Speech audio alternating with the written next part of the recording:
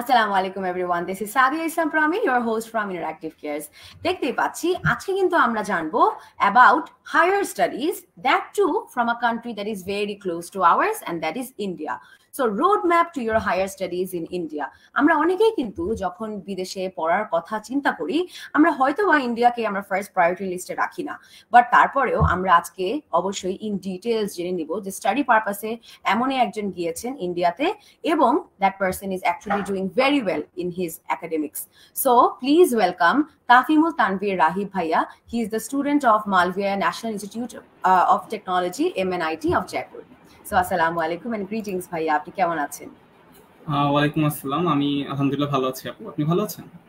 Of course খুব ভালো আছি and we are so delighted and excited to have you here আমি দর্শকদের উদ্দেশ্যে আরেকবার বলে রাখি, ভাইয়া কিন্তু আমাদেরকে জাস্ট লাইফটা স্টার্ট হওয়ার আগে জানিয়েছেন যে he has his mids just পরশু দিন থেকেই কিন্তু mid term exam but still he has actually given his time to be here so অবশ্যই যদি আপনাদের কারও কোনো কোয়েশ্চেন্স থেকে থাকে related to higher studies in India or just higher studies in general feel free to ask him so ভাইয়া without any further ado আমরা আর সময় ওয়েস্ট না করে আমরা আমাদের জাস্ট টু দ্য পয়েন্ট আমরা কথা শুরু করে ফেলি। ফার্স্ট অফ অল অবশ্যই নিশ্চয়ই সবারই এই কোয়েশ্চেনটা আছে এবং আমারও আছে যে এত এত কান্ট্রি থাকতে ইন্ডিয়া কেন?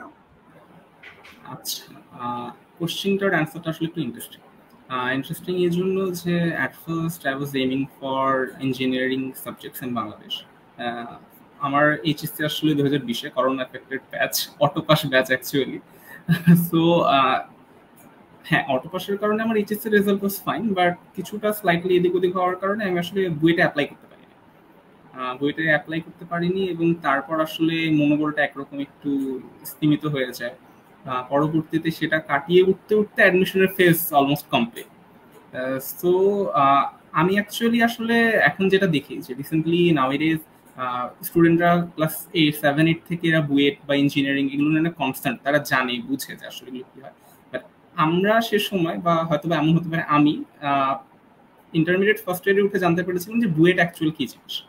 তো যতদিনে হয়তো স্বপ্নটা দেখতে শুরু করেছি, ততদিনে হয়তো কিছুটা লেট হয়ে গেছে।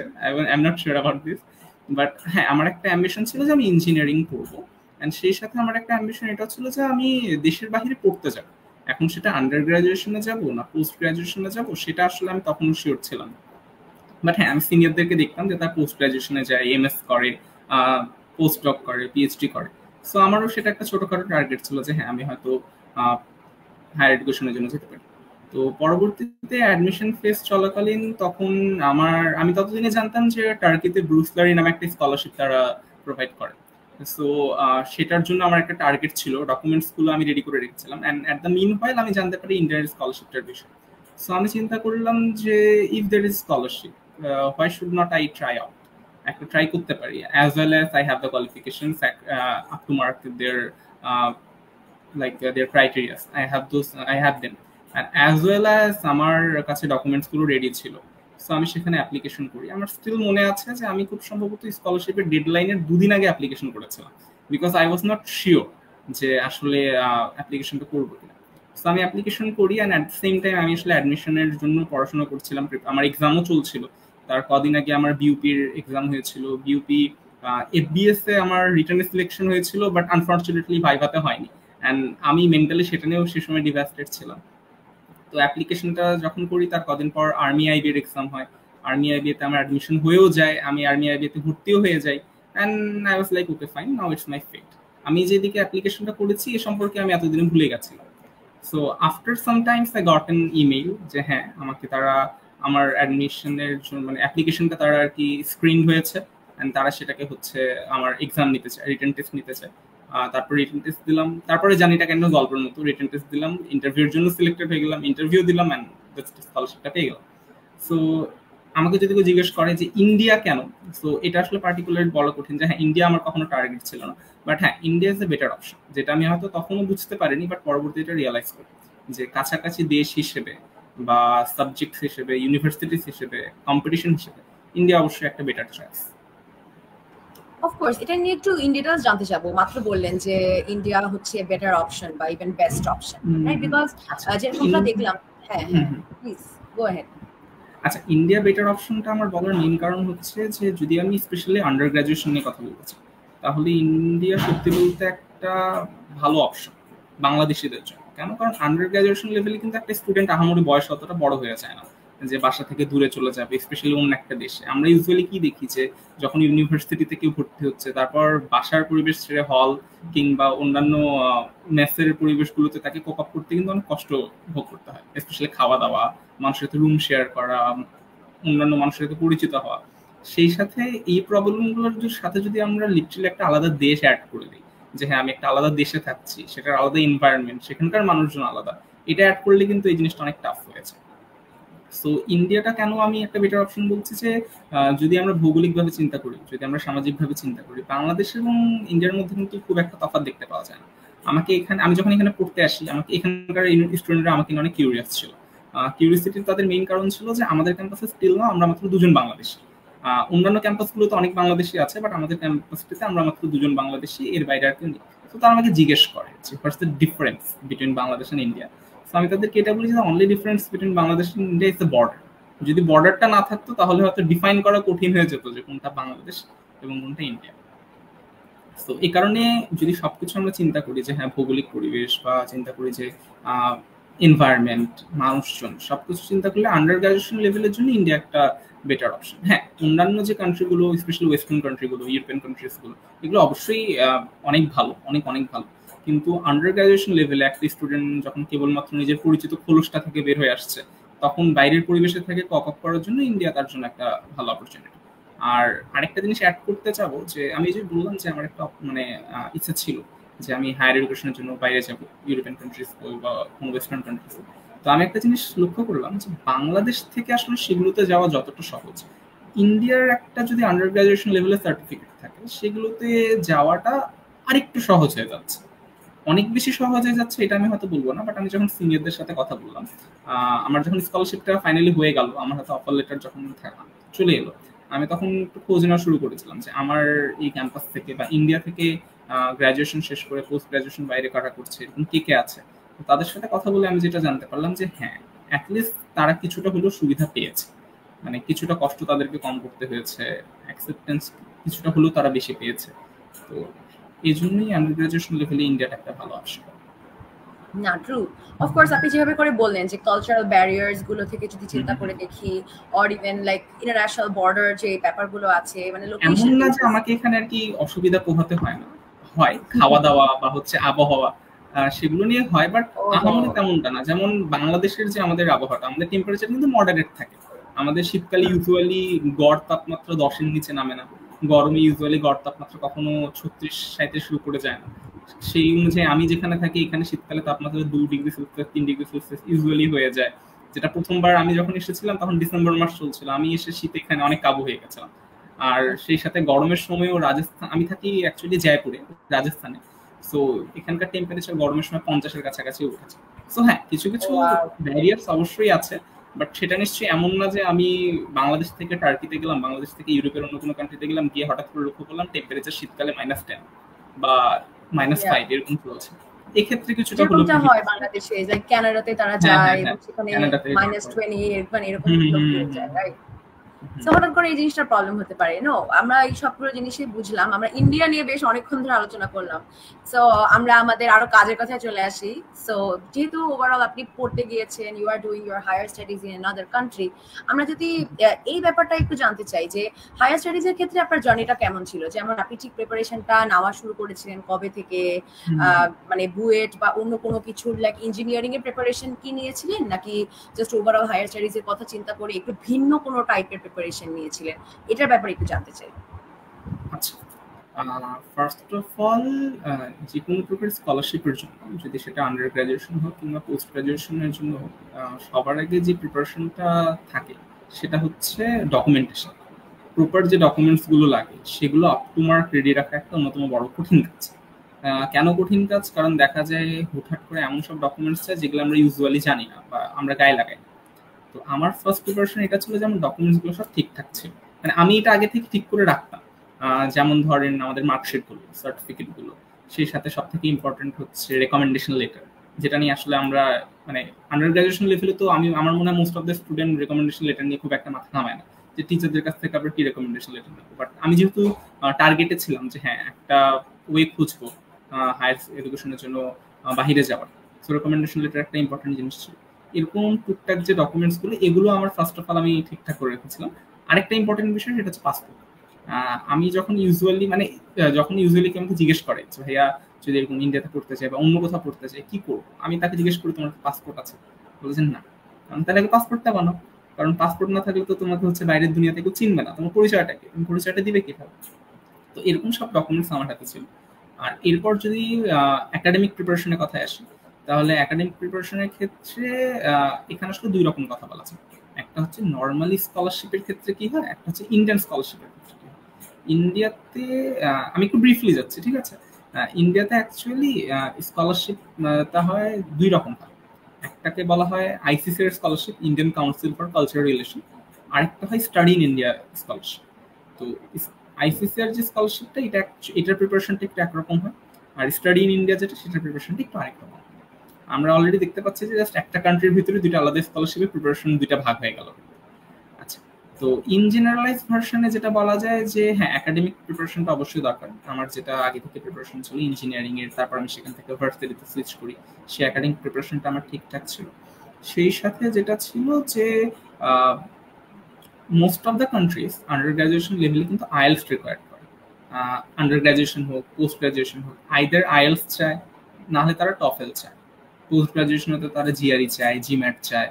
ইভেন যদি স্কলারশিপ ছাড়া ডিরেক্ট অ্যাডমিশন চাই তাহলে তারা হচ্ছে স্যাটের স্কোরও চায়। ইন্ডিয়াটা এই ক্ষেত্রে একটু ভিন্ন। কেন ভিন্ন? কারণ আইসিসিআর যে স্কলারশিপটা এটাতে কিন্তু তারা আইএলস বা টুফেল এরকম কিছু রিকোয়ার করে না। তারা নিজেদের একটা ইংলিশের পরীক্ষা নেয়। সেটাকে ইপিটি বলে ইংলিশ প্রফেশিয়েন্সি টেস্ট এটার দ্বারা জেনারেলাইজড ভাবে সবার নেয়। এখন সেই টেস্টে আসলে কি হয়? সেই টেস্টটা আসলে কি হয়, এটা আসলে একটু বলা কঠিন। কারণ বছর বছর তারা তাদের পলিসিটা চেঞ্জ করে। তারা কখনো গ্রামাটিক্যাল গ্রামার টেস্ট নেয়, কখনো তারা সেটা হচ্ছে ভোকাবুলারির উপর নেয়, কখনো কম্বিন কম্বাইন ভাবে নেয়। সেটার মানে সেটা কত, কতটা কঠিন হবে এটাও বছর বছর ডিপেন্ড করে। বাট ইন জেনারেল ইংলিশের বেসিকটাকে আর কি কোন স্টুডেন্ট জানে কিনা, সেটা জানার জন্য যেরকম টেস্ট দরকার, সেই টেস্টটা এই ইন্ডিয়ান অথরিটি নিজেরাই নিয়ে নেয়। এটা তারা কন্ডাক্ট করে ইন্ডিয়ান হাই কমিশনের আন্ডার সো ইন্ডিয়াতে অ্যাডমিশনের জন্য আইএলসটা মাস্ট এরকম কোনো কিছু হ্যাঁ এমন অনেক ইউনিভার্সিটি আছে যারা আইসিসির আন্ডারে থেকেও তারা আলাদা করে আইএলস চায়। সে ক্ষেত্র মানে সেই বিষয়টা আলাদা, সেটা তাদের নিজস্ব পলিসি তো আমার যে প্রিপারেশনটা সেটা মূলত একাডেমিক প্রিপারেশনটা হ্যাঁ তখন ঠিকঠাক ছিল। স্কলারশিপের এক্সামের আগে আমার তো বললাম যে এক জায়গায় অ্যাডমিশন হয়ে গেছিল, আমি সেখানে ভর্তিও হয়ে গেছিলাম। অ্যান্ড সামনে আরও দু একটা পরীক্ষা ছিল। So I was actually, I was inside the, like, you can say I was inside my educational phase. এমন না একেবারে বের হয়ে গেছিলাম। এটা হেল্প করেছে, এটা হেল্প করেছে কোথাও এটা হেল্প করেছে ইন্টারভিউস কারণ ইপিটি টেস্টে যখন আমি সেটা ক্লিয়ার হয়ে যায় রিটেন টেস্টে তারপর যখন তারা আমাকে ইন্টারভিউর জন্য ডাকে, সেখানে কিন্তু তারা একাডেমিক কোশ্চেন করে ডিপেন্ডিং যে কোন সাবজেক্টে আমি অ্যাপ্লিকেশন করছি। সেটা ইঞ্জিনিয়ারিং এ করেছি মানে টেকনিক্যালে করেছি, না নন টেকনিক্যালে করেছি, বা অন্য কোনো সাবজেক্টে করেছি। সো হ্যাঁ প্রিপারেশনটা একাডেমিক লেভেলেও প্রয়োজন। মিডিয়ে করে একটা প্রিপারেশন অবশ্যই প্রয়োজন। সেই সাথে ইংলিশের একটা প্রিপারেশন বেশ ভালো প্রয়োজন। অ্যাবসলুটলি আপনি যেভাবে করে বললেন যে যে দুইটা ডিফারেন্ট টাইপস হয়ে যাচ্ছে like in the same exact country সেখানে কিন্তু আমরা দুইটা ডিফারেন্ট টাইপ অফ ইংলিশের প্রিপারেশন অনুযায়ী টেস্টও দেখলাম। সো যেভাবে বললেন যে একটাতে কিন্তু ইপিটি প্রয়োজন। এবং আরেকটাতে হয়তো বা আইএলটিএস প্রয়োজন। সো আমি জাস্ট যদি একটু স্টাডি ইন ইন্ডিয়াতে অ্যাকচুয়ালি আইএলটিএস তারা চায় এবং চায় ইউনিভার্সিটির উপর ডিপেন্ড করে। আর আচ্ছা ইটস ওকে আমরা নেক্সট আমরা সামনে এটা নিয়ে আলোচনা করব যে কোন স্কলারশিপের প্রসিডিউরগুলো কীরকম। অফকোর্স অফকোর্স না এইটা নিয়ে তাহলে আমরা এখনই একটু ডিটেলস বলে ফেলতে চাই যে যদি কেউ রাইট নাও বাংলাদেশ থেকে দেখে থাকে সো মেজরিটি আমাদের এখানে অডিয়েন্স বাংলাদেশেই আছে এবং তারা যদি চিন্তা করে যে I want to go apply in India so ইন্ডিয়ার মধ্যেও তো নিশ্চয়ই ইউনিভার্সিটির একটা র্যাঙ্কিং আছে। Like just here in Bangladesh just world wide university যেরকম র্যাঙ্কিং থাকে।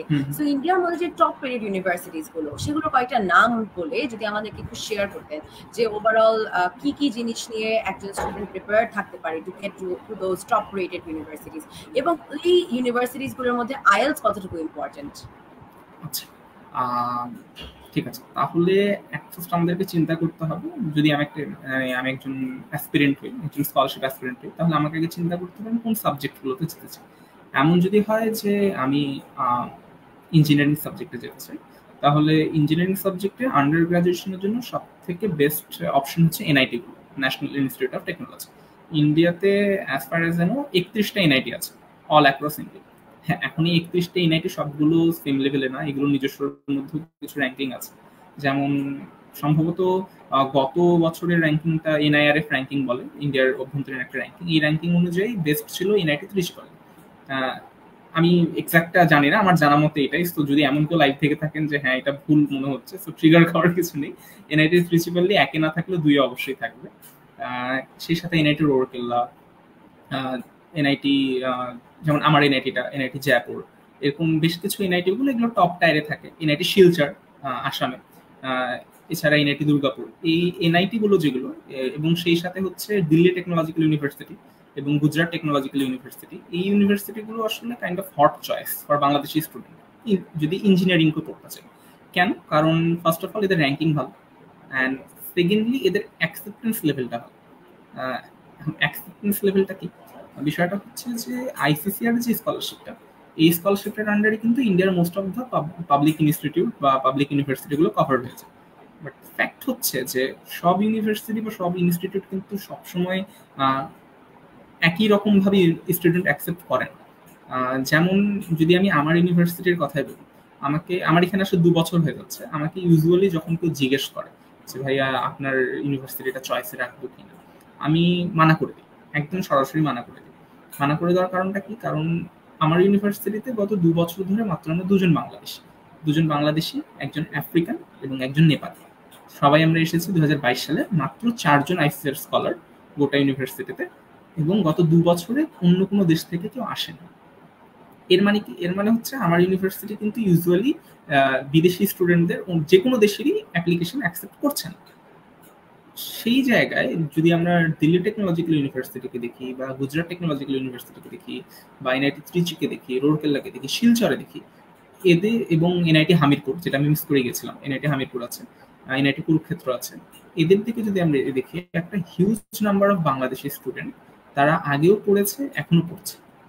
তার মানে তার মানে এটা হচ্ছে, আমি যদি এখন র্যাঙ্কিংয়ে দেখলাম যে আচ্ছা এমএনআইটি যে জয়পুর হচ্ছে উপরের দিকে আছে, এটাতে অ্যাপ্লিকেশন করে ফেলি, কিন্তু পরবর্তীতে দেখা গেল আমার অ্যাকসেপ্ট হলো না, তাহলে কিন্তু এটাতে কোনো উপকার আসলো তো র্যাঙ্কিংটা যেরকম একটা চিন্তার বিষয়, সেই সাথে এটাও একটা খোঁজ নেওয়ার বিষয় যে কোন ইউনিভার্সিটি বা কোন ইনস্টিটিউটটা অ্যাকসেপ্টেন্সটা বেশি নিচ্ছে। যেমন যদি আমরা ইন জেনারেলাইজ কথা বলি, যে জেনারেল যে কোনো সাবজেক্টের জন্য সব থেকে বেস্ট অপশন হচ্ছে Delhi university Delhi university kind of আমাদের এরকম ঢাকা ইউনিভার্সিটির পরিসরটা অনেক বড়। অনেকগুলো সাবজেক্ট অনেক বড় একটা এরিয়া অনেক বড় একটা অ্যালাম নাই অনেক বড় একটা পরিবেশ, ঠিক সেরকম অনেকটা হচ্ছে দিল্লি ইউনিভার্সিটি আর অনেক বড় পরিসর অবভিয়াসলি ইন্ডিয়া বড় একটা দেশ ইন্ডিয়াতে আরও অনেক বড় হবে। সো দিল্লি ইউনিভার্সিটিতে প্রচুর পরিমাণ বাংলাদেশি স্টুডেন্ট লিটারালি একটা আলাদা কমিউনিটি এবং দিল্লি ইউনিভার্সিটি বা ইউনিভার্সিটির আন্ডারে যে কলেজগুলো সেগুলো তো অনেক বাংলাদেশি স্টুডেন্ট পড়ে। শুধু দিল্লি ইউনিভার্সিটি না, আপনার হচ্ছে লখনৌ ইউনিভার্সিটি বেনারস হিন্দু ইউনিভার্সিটি পুনে সাবিত্রীবাই ভালে পুলে পুনে এটা একটা ইউনিভার্সিটি এই ইউনিভার্সিটিগুলোতে কিন্তু বাংলাদেশি স্টুডেন্ট আসলে প্রচুর। হ্যালো জি জি আমি শুনছি। হ্যাঁ হ্যাঁ আচ্ছা হ্যাঁ। সো এই যে চয়েসের যে বিষয়টা সেক্ষেত্রে র্যাঙ্কিংটা একটা ফ্যাক্ট সেই সাথে ফ্যাক্ট হচ্ছে যে কোথায় অ্যাকসেপ্টেন্সটা বেশি। এটা একটা গেল। আর আরেকটা হচ্ছে যে আপনি যখন পড়তে আসছেন আপনার সাব আপনার ডিজায়ার্ড যে সাবজেক্টটা আমরা ইউজুয়ালি বাংলাদেশে যখন আমরা অ্যাডমিশন টেস্ট দিই, আমরা কিন্তু সাবজেক্ট চয়েসের আমারও সুযোগ পাই। আমরা সবাইকে চিন্তা করি একটা ইউনিভার্সিটি হয়ে যায় সাবজেক্ট নিয়ে পরে চিন্তা করি। ইভেন আমরা মানে জাস্ট একটা ইউনিভার্সিটির জন্য আমরা অনেক সময় অন্য ইউনিভার্সিটির ভালো সাবজেক্টটাকেও ছেড়ে দিই। যে হ্যাঁ এই ইউনিভার্সিটির একটু ভালো, এটার অপেক্ষাকৃত কম ভালো সাবজেক্ট মানে সাবজেক্ট ভালো খারাপ করলে হয়তো মানুষ অনেক সময় ট্রিগার খেয়ে যায় ডিসক্রিমিনেশন করা হয়। বাট আসলে যেটা সত্য, সেটা সত্য। এরকম অনেক হয় যে, আমি অনেক দেখেছি যে চট্টগ্রাম ইউনিভার্সিটিতে অপেক্ষাকৃত একটা ভালো সাবজেক্ট তারা পাচ্ছিল, সেটা ছেড়ে তারা ঢাকা ইউনিভার্সিটিতে আসছে। এমন না স্টুডেন্টটা খারাপ, হয়তো কম্পিটিশনে সে একটু পিছিয়ে গেছে। তো সাব ডিজায়ার সাবজেক্ট যে চয়েসের বিষয়টা, এটা আসলে আমাদের দেশে প্রাইভেট ইউনিভার্সিটি ছাড়া অন্য কোথাও সিলেক্ট করার কিন্তু সুযোগ থাকে না। আর শুধু আমাদের দেশে না ইন্ডিয়াতেও যারা ইন্ডিয়ান স্টুডেন্ট তাদের ক্ষেত্রে কিন্তু সুযোগটা থাকে না। কম্পিটিশন ফ্যাক্ট কিন্তু আমরা যারা বাহির থেকে আসছি, বাংলাদেশ থেকে হোক বা যে দেশ থেকে হোক আমরা স্কলারশিপের জন্য কোথাও গেলে আমরা কিন্তু স্পেশালি নিজেদের সাবজেক্টে অ্যাপ্লিকেশন করি। অ্যান্ড আমি যে স্কলারশিপের আন্ডারে এসেছি আইসিসি এর স্কলারশিপ এখানেও কিন্তু সেম জিনিসটাই। যেমন আমার এমএনআইটি জয়পুরে আমি যদি আমি যেমন ইলেকট্রিক্যাল ইঞ্জিনিয়ারিং অ্যাপ্লাই করেছিলাম, আমি কিন্তু আর ইলেকট্রিক্যালের পাশাপাশি অন্য কোনো সাবজেক্টে এখানে অ্যাপ্লাই করতে পারব একটা ইউনিভার্সিটিতে আমি কিন্তু একটা সাবজেক্টের জন্যই আর কি অ্যাডমিশন চাচ্ছি। সো আমার কাছে কিন্তু সবার আগে এটা একটা মানে আমার মানে পছন্দের বিষয় ছিল যে হ্যাঁ আমি ইলেকট্রিক্যাল ইঞ্জিনিয়ারিং করব। সো ইলেকট্রিক্যাল ইঞ্জিনিয়ারিং বা ট্রিপলি বা ইসিই কোন কোন ইউনিভার্সিটিতে আছে, যেগুলো মোস্ট অফ দ্য ইউনিভার্সিটিতে আছে, এরকম একটা চয়েসের একটা লিস্ট করে আমি কিন্তু সেভাবে চয়েস করেছিলাম। তো এখানে একটা দেখার বিষয় আছে যে আমি যে সাবজেক্টটা পড়তে চাই, সেই সাবজেক্টের ক্ষেত্রেও ইউনিভার্সিটি কতটা ফ্যাসিলিটিস দিচ্ছে। হ্যাঁ এখন যদি এভাবে চিন্তা করতে থাকি যে ফ্যাসিলিটিস কতক্ষণ দিচ্ছে, এটা কিন্তু খুঁজে বের করা খুব টাফ যে কোন এনআইটি কতক্ষণে দিচ্ছে বা কোন ইউনিভার্সিটি কতক্ষণে দিচ্ছে। এক্ষেত্রে এটা বলা যায় যে ইন্ডিয়াতে অলমোস্ট ম্যাক্সিমাম এনআইটি গুলোই স্ট্যান্ডার্ড লেভেলে সেম মোটামুটি সেম মানে বাংলাদেশ থেকে যদি পড়তে আসি বা বাইরের কোনো দেশ থেকে যদি পড়তে আসি, তাহলে কিন্তু লেভেলটা সেম সো আলাদা করে এটা ভাবার কিছু নেই যে হ্যাঁ এমএনআইটি জয়পুরে যাচ্ছে, দেখে এনআইটি দিল্লি থেকে পিছিয়ে যাব বা এনআইটি ত্রিচি থেকে পিছিয়ে যাব। সো এটাও একটা চয়েসের বিষয় আছে। আমি যেটা ইউজুয়ালি সবাইকে বলি যে at first choice your subject then choice your university তোমার সাবজেক্টটা কোন ইউনিভার্সিটিতে তোমাকে ভালো দিচ্ছে? যেমন আমার অনেক ফ্রেন্ড আছে যারা দিল্লি ইউনিভার্সিটিতে জার্নালিজমে পড়ছে। জার্নালিজম পড়ার জন্য অবভিয়াসলি দিল্লি ইউনিভার্সিটি একটা বেস্ট অপশন সো সে জানে তাকে জার্নালিজম পড়তে হবে, সে সেজন্য দিল্লি ইউনিভার্সিটিতে অ্যাপ্লাই করছে। এখন সে যদি যে সাবজেক্টটা ওই ইউনিভার্সিটিতে নেই, আমি যদি সেই ইউনিভার্সিটিকে টার্গেট করি, তখন তো সাবজেক্ট পাবো না। আবার ইউনিভার্সিটি আছে, কিন্তু মানে সাবজেক্ট আছে, কিন্তু ইউনিভার্সিটি নেই, তাহলে আবার ইউনিভার্সিটি পাবো। তো চয়েসের ক্ষেত্রে এই বিষয়গুলো আসলে একটু কনসিডার অফকোর্স এটা কিন্তু অনেক ইম্পর্টেন্ট একটা অ্যাডভাইস এবং ওয়ান্স এগেন যারা যারা এখানে আছে রাইট নাও অডিয়েন্স তাদের সবাইকে এটা বলে দিতে চাই যে যখনই আমরা কোনো ইউনিভার্সিটির কথা চিন্তা করি আমরা শুধুমাত্র হয়তো ইউনিভার্সিটির র্যাঙ্কিংটা চিন্তা করছি। বাট আমরা এটা ভুলে যাই যে আমি ইউনিভার্সিটিতে পড়ছি for maybe four or like highest five years সেই ইউনিভার্সিটি মেবি আমার খুবই ভালো একটা এক্সপিরিয়েন্স হচ্ছে। But at the same time যে সাবজেক্টটা নিয়ে আমি পড়ছি সেই সাবজেক্টটা আমার কন্টিনিউ করতে হবে for the rest of my life maybe unless আমি আমার ক্যারিয়ার কোনো কিছু চেঞ্জ করে যাচ্ছি। হ্যাঁ মানে আমি আসলে ইউজুয়ালি সবাইকে এটা বলি যে তুমি মানে আমি নিজে এটা বিলিভ করি। হ্যাঁ সবাইকে এটা বলি যে তোমার ইউনিভার্সিটির নামটা তুমি চার বছর চালাইতে পারবা। অ্যান্ড তারপর ফার্স্ট জবে ঢোকার পর্যন্ত বা ফার্স্ট অন্য কোনো স্কলারশিপ বা অ্যাডমিশনে যাওয়া পর্যন্ত। এরপর কিন্তু তুমি ইউনিভার্সিটির নামটা নিয়ে বেশি দূর যেতে পারবে যদি না তোমার সাবজেক্টটা স্ট্রং অ্যান্ড এখন হ্যাঁ আর আরেকটা যেটা এখানে বিষয় হয়, যেহেতু বললাম যে সাবজেক্ট নিয়ে কথা বলতে গেলে মানুষ ট্রিগার খেয়ে যায় যে আমার সাবজেক্ট ছোট নাকি। আসলে এটা না, কোন সাবজেক্টে অপরচুনিটিটা বাইরে বেশি বা বর্তমানে আপ টু ডেট কোন সাবজেক্টটার দামটা বেশি? আমি এটা বলছি না যে আমি ইঞ্জিনিয়ারিং করছি দেখি ইঞ্জিনিয়ারিং এ বেস্ট অনেক দেশের প্রেক্ষাপটে বা আমাদের দেশের প্রেক্ষাপটে অনেক জায়গায় এমন অনেক সাবজেক্টগুলো প্রয়োজন যেগুলো আসলে বাস্তব লাইফে অনেক ইম্পর্টেন্ট যেমন পলিটিক্স পলিটিক্স হোক ইন্টারন্যাশনাল রিলেশনশিপ হোক বা হচ্ছে ইকোনমিক্স হোক, এই সাবজেক্টগুলো কিন্তু অনেক ইম্পর্টেন্ট সো আমি যদি এখন চিন্তা করি যে হ্যাঁ আমি ওই সাবজেক্টটাতে ভালো করতে পারব বা ওই সাবজেক্টে আমার ইন্টারেস্ট আছে আমার অবশ্যই সাবজেক্টে যাওয়া উচিত। হ্যাঁ ওই সাবজেক্টে গিয়ে আমাকে এটা খুঁজে বের করা উচিত যে কোন ইউনিভার্সিটি বা কোন কলেজ আমাকে বেটার ফ্যাসিলিটিস দেবে। জাস্ট শুধু একটা ইউনিভার্সিটির নামের জন্য ওইখানে যাওয়ার তো কোনো মানে হয় মোস্ট ডেফিনেটলি এটা খুবই ইম্পর্টেন্ট একটা অ্যাডভাইস যেটা মোস্ট ডেফিনেটলি দর্শকদের কিন্তু খেয়াল রাখা উচিত যে first we choose the subject তারপরে দেখব সেই সাবজেক্ট অনুসারে আমাদের ইউনিভার্সিটি র্যাঙ্কিং এবং so on and so forth অনুযায়ী। গত বছর যদি আমি লয়ের মানে একটা মানে স্ট্যাটিস্টিক্স একটা বলি যে আমাদের দেশে কিন্তু ইউজুয়ালি ঢাকা ইউনিভার্সিটি মানে জেনারেলাইজ সাবজেক্টের জন্য বেস্ট ধরা হয়। অবভিয়াসলি এটা বেস্ট র্যাঙ্কিং এর দিক থেকে ঢাকা ইউনিভার্সিটি রাজশাহী ইউনিভার্সিটি শাহজালাল বা হচ্ছে চট্টগ্রাম ইউনিভার্সিটি জাহাঙ্গীরনগর, এরা অনেক টপে থাকে। বাট এদের মধ্যে আবার সাবজেক্টের অনেক মানে উনিশ বিশ দেখা যায়। খুব সামান্য পার্থক্য দেখা যায়। কীরকম? যেমন গত বছরে যদি আমরা বাংলাদেশ জুডিশিয়াল সার্ভিসের রেজাল্ট দেখি, তাহলে কিন্তু টপ টেনের মধ্যে খুব সম্ভবত চারজন কি পাঁচজনের ছিল রাজশাহী ইউনিভার্সিটি মানে Rajshahi university law is doing better so obviously আমি যদি এখন ল ঢাকা ইউনিভার্সিটি আর রাজশাহী ইউনিভার্সিটি চাই মোস্ট অফ দ্য স্টুডেন্ট অবশ্যই ঢাকা ইউনিভার্সিটিতে যাবে ল পেন কিন্তু দেখা যাচ্ছে রাজশাহী ইউনিভার্সিটি সামান্য কিছুটা হলেও হয়তো বেটার ফ্যাসিলিটিস দিচ্ছে সো তাহলে সেখানে যাওয়া উচিত। আবার যদি দেখা যায় যে হ্যাঁ আর আমরা যদি রুয়েট কুয়েট চুয়েটের মধ্যে চিন্তা করি এই তিনটা ইউনিভার্সিটির অলমোস্ট সেম তাদের সাবজেক্টগুলো সেম তাদের টিচিং যে ফ্যাকাল্টি তারও একদম মানে খুব তাদের মধ্যে হাড্ডাহাড্ডি একটা কম্পিটিশন হয়ে যাবে। তারপরও দেখা যায় যে একটা ইউনিভার্সিটি আরেকটা থেকে একটা সাবজেক্টে একটু ভালো ফ্যাসিলিটি দিচ্ছে আমার অবশ্যই টার্গেট থাকা উচিত সেখানে যাওয়া। সেম জিনিসটা স্কলারশিপের ক্ষেত্রেও কাজ করে। সো আমরা সাবজেক্ট চয়েস নিয়ে বেশ অনেকক্ষণ ধরে কথা বললাম। আমরা এখন একটু ডিটেলসে আসতে চাই যে মোস্ট ডেফিনেটলি আপনি যখন ডিফারেন্ট ইউনিভার্সিটিসগুলোতে অ্যাপ্লাই করেছেন বা জেনারেলি যখন আমরা করি, তখন প্রফেসরদেরকে হয়তো বা অনেক রকম মেলসও আমাকে পাঠাতে হয় লাইক স্টেটমেন্ট অফ পারপাস এবং so on and so forth so প্রফেসরদের মেলের ক্ষেত্রে কোন কোন বিষয়গুলো আপনি প্রায়োরিটি দিয়েছেন? আচ্ছা to be frank under graduation লেভেলে স্টার্ট মানে ইন্ডিয়াতে আসার জন্য প্রফেসরদেরকে কন্ট্যাক্ট করতে হয়। আচ্ছা।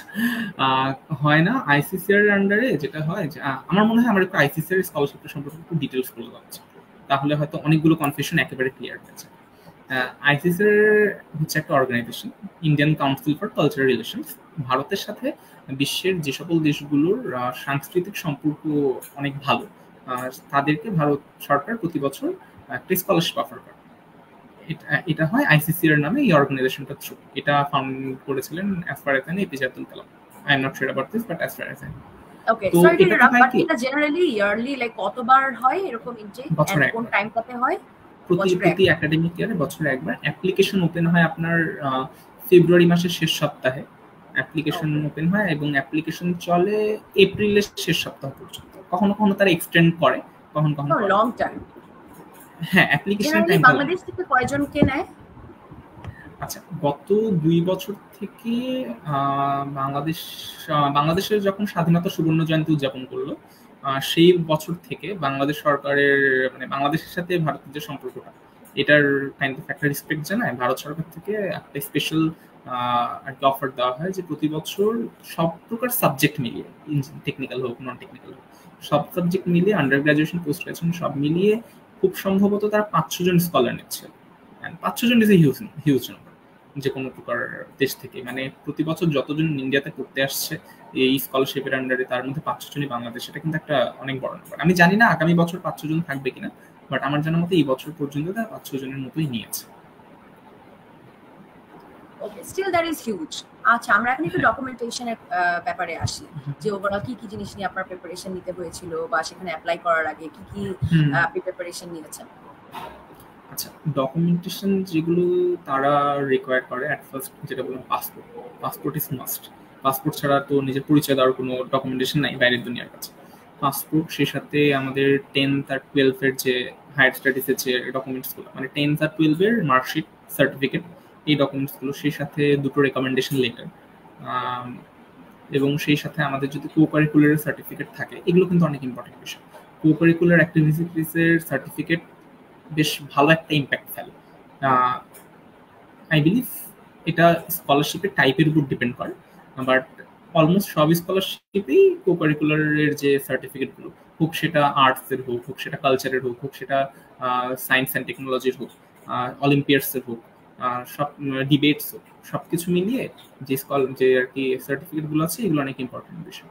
অ্যান্ড যত প্রকার সার্টিফিকেট সবগুলো কিন্তু ইংলিশে যদি এমন হয় যে আমার কোনো সাবজেক্ট আমার কোনো সার্টিফিকেট ইংলিশে নেই, সেটাকে কিন্তু নোটারাইজ করে ইংলিশে ট্রান্সলেট করে নিতে হয়। মানে ট্রান্সলেশনের যে নোটারাইজ কপিটা আর এই ডকুমেন্টসগুলো মাস্ট লাগে।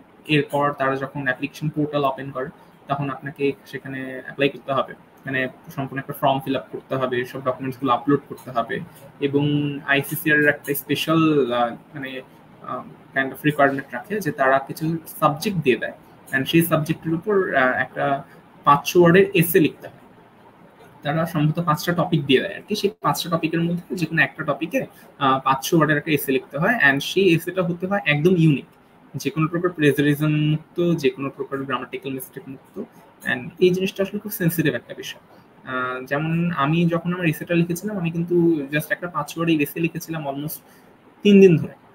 তিন দিন ধরে সেটা লিখেছি। অ্যান্ড এমন না যে আমি সেটা অন্য কোথাও লিখলাম, লিখে ডকুমেন্ট ফরমেটেশন ফর্মেটে আপলোড করে দিলাম। সেটা ওদের ওয়েবসাইটে লিখতে হয়। সো আমি অন্য একটি জায়গায় লিখে সেটা কপি পেস্ট করছিলাম। বাট হ্যাঁ আমার যেটা মনে আছে যে আমি অনেকবার সেটুকে আর কি প্লেজারিজমের চেকিং এর যে ওয়েবসাইটগুলো আছে, সেগুলোর মাধ্যমে চেক করে করে যতক্ষণ না প্লেজারিজম লেভেলটা মানে হয় যে ইউনিকলি নিজে লিখছি, তাও সেটা তারা প্লেজারিজম ডিটেক্ট করছে। সব মিলিয়ে অলমোস্ট নিয়ারলি জিরো পার্সেন্ট যখন চলে এসেছিল, আমি তারপর আপলোড করেছি। আর পরবর্তীতে আমি এটা অনেকেরই শুনেছি যে অনেক প্রোফাইল অনেক স্ট্রং তাদের কো কারিকুলার অ্যাক্টিভিটিস অনেক ভালো আছে, তাদের রেজাল্ট অনেক ভালো টেন্থ আর টুয়েলথের বাট এনিহাও তারা এই এসেটাতে হয়তো কোথা থেকে কপি করেছিল, কারও কাছ থেকে কপি করেছিল, বা কোনো ওয়েবসাইট থেকে কপি করেছিল। এই ক্ষেত্রে তারা কিন্তু আর পরবর্তীতে তাদের অ্যাপ্লিকেশনটা অ্যাকসেপ্ট হয়নি। সো এটা অনেক সেন্সিটিভ বিষয়।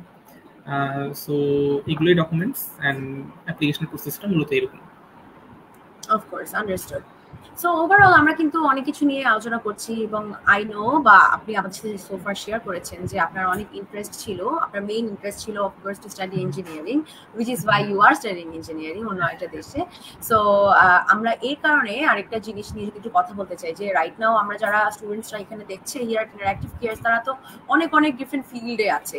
সো যদি আপনি আমাদের সাথে একটু শেয়ার করতেন যে ইন্ডিয়াতে ওভারঅল কোন কোন সাবজেক্টে ডিগ্রি রয়েছে, আর বাংলাদেশের স্টুডেন্টদের জন্য কি কি সুযোগ রয়েছে, আপনি যে স্কলারশিপটাতে গিয়েছেন, সেটাতে আমরা জানলাম।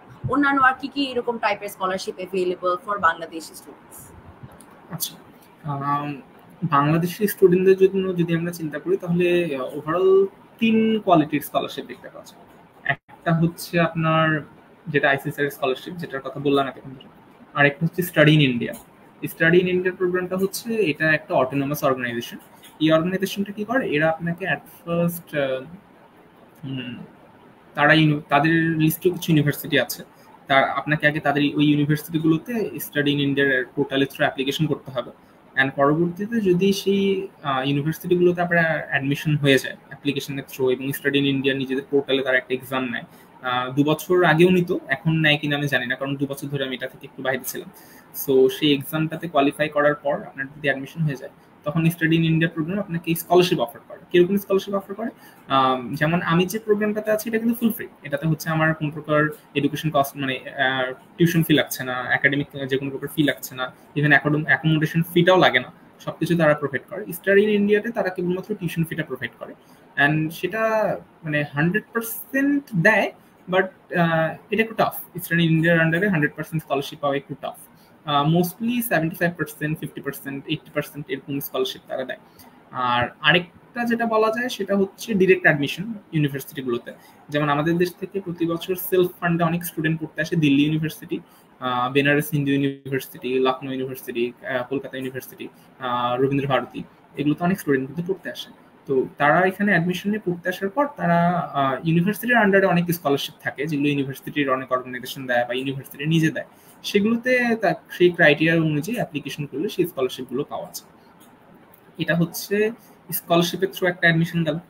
আর আরেকটা অ্যাডমিশন সেটা হচ্ছে আপনার ডিরেক্ট অ্যাডমিশন নেওয়া যায়। ইভেন আমার যে এনআইটি আমি যে এনআইটিতে পড়ি বা যে কোনো এনআইটি এই এনআইটিগুলোতেও কিন্তু স্কলারশিপ দিয়েই চান্স পাওয়া যায়, এমনটা না।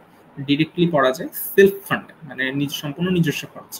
অ্যান্ড টু বি অনেস্ট খরচটা হিউজ আসলে হিউজ এটা আপনার ডিরেক্টলি ধরেন আপনি অ্যাপ্লিকেশন করলেন সমস্ত ডকুমেন্টেশন দিয়ে এবং ইউনিভার্সিটি আপনার যে তাদের পলিসি অনুযায়ী যদি অ্যাকসেপ্ট করে আপনি সে অ্যাডমিট হতে পারেন সাবজেক্টের কথা যদি আসি কীরকম হতে পারে কস্টিং আচ্ছা যদি এনআইটির ক্ষেত্রে বলি এনআইটির ক্ষেত্রে বছরে as far as I know nearly four lakh thirty thousand INR মানে চার বছরে এটা ধরা যায় হ্যাঁ ইন্ডিয়ান রুপিসে চার বছরে এটা আপনার ধরেন সতেরো লাখ ইন্ডিয়ান রুপিসের উপর। সেটা আনুষ্ঠানিক এটা বেশ। আর যদি অন্যান্য ইউনিভার্সিটিগুলোর কথা বলি দিল্লি ইউনিভার্সিটি বা লখনৌ ইউনিভার্সিটি বা অন্যান্য যেগুলো নাম আমি বলি এগুলো আসলে এগুলো এতটা না এগুলো ডিপেন্ড করে। যেমন আপনার কিছু কিছু ইউনিভার্সিটি আছে যেগুলো বছরে দেড় লাখ থেকে দু লাখ রুপি কিছু কিছু আছে লাখ রুপির মধ্যে হয়ে যায়। সো এটা ইউনিভার্সিটি ইউনিভার্সিটি ভেরিফাই করে বাট হ্যাঁ এনআইটি গুলো তো আসলে অনেক হাই আর হ্যাঁ আর পোস্ট গ্রাজুয়েশনের ক্ষেত্রে বিষয়টা আমি আসলে ডিটেলস কস্টিংটা বলতে পারছি কস্টিংটা আসলে পোস্ট গ্রাজুয়েশন ক্ষেত্রেও এনআইটি টু এনআইটিও ভ্যারি করে অনেক সময় ওকে আন্ডারস্টুড বুঝতে পারলাম like all in all like engineering universities গুলোতে জেনারেলি একটু এক্সপেন্সিভ হয়। ওকে এখানে আরেকটা বিষয় হচ্ছে যে আরেকটা জিনিস যেটা আমি মেনশন করতে চাই আমাদের দেশে যে পাবলিক ইউনিভার্সিটি গুলো আছে আমাদের দেশে পাবলিক ইউনিভার্সিটি গুলোতে কিন্তু খরচ তুলনামূলক অনেক কম অনেক কম। মানে মানুষ একরকম আমরা ধরেই নিই যে হ্যাঁ এটা free free of cost even হচ্ছে আমাদের দেশের মনে সব থেকে expensive public university and institute হচ্ছে এক ডিউপি অ্যান্ড আরেকটা হচ্ছে এমআইএসটি এদের খরচটা কিন্তু তুলনামূলক সব থেকে বেশি ইন্ডিয়াতে আপনার যদি এনআইটি গুলোতে কোনো একটা স্টুডেন্ট যদি জেনারেল ক্যাটাগরিতে পড়তে আসে মানে যার কোনো প্রকার রিজার্ভেশন নেই যার কোনো প্রকার কোটা নেই সেই স্টুডেন্টটার কিন্তু প্রতি বছর কেবলমাত্র প্রতি বছর তার খরচ হবে অলমোস্ট দু লাখ রুপির কাছাকাছি। একাডেমিক টিউশন টিউশন ফি এবং সেই সাথে হস্টেল ফি সব কিছু মিলে।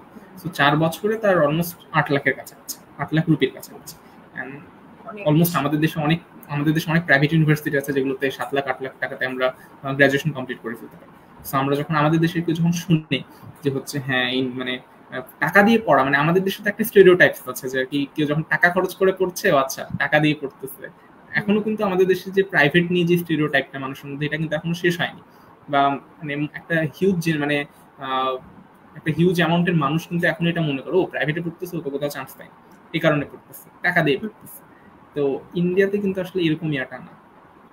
আর সব থেকে যেটা বড় বিষয় যে আমি পার্সোনালি জিনিসটা সাপোর্ট করেছি যদি আমার কাছে অপশন থাকে আমি নিজের পছন্দের সাবজেক্টটা করব সেটা যে কোনো জায়গায় হতে পারে পাবলিক হোক প্রাইভেট হোক দেশের বাইরে যেখানে অফকোর্স আমরা কিন্তু বেশ কিছু কমেন্টসও পাচ্ছি। আমিও, আমারও অ্যাকচুয়ালি আরও অনেক অনেক প্রশ্ন আছে to ask you but at the same time অনেকগুলো কমেন্টসও আমরা পাচ্ছি।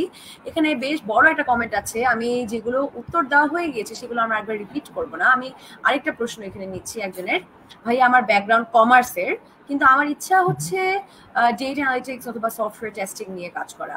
কোনটার ডিমান্ড ক্রমে বৃদ্ধি পাচ্ছে আর কোনটাতে মাস্টার্স করা বেটার সো আপনার যদি এরকম কোনো আইডিয়া থাকে একটু প্লিজ আমাদের সাথে শেয়ার আচ্ছা আর ডেটা অ্যানালিটিক্স আর সফটওয়্যার টেস্টিং এর মধ্যে যদি বলা যায় তাহলে অবশ্যই ডেটা অ্যানালিটিক্স কারণ recently artificial intelligence machine learning এই দুটো বিষয় কিন্তু পুরো বিশ্বে মানে বেশ ভয়াবহ একটা আলোড়ন ফেলছে।